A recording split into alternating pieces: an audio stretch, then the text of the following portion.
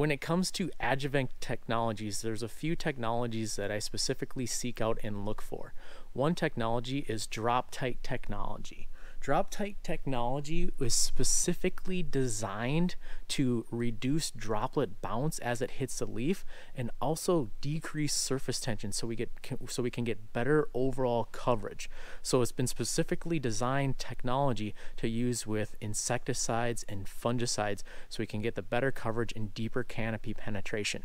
The other technology that I look for in an adjuvant is CornSorb technology. So CornSorb technology has been proven through a patent to increase the uptake of that active ingredient. In one study uh, that has been done, radioactively labeled glyphosate and saw that it increased glyphosate uptake within that cuticle about half more than without the CornSorb technology.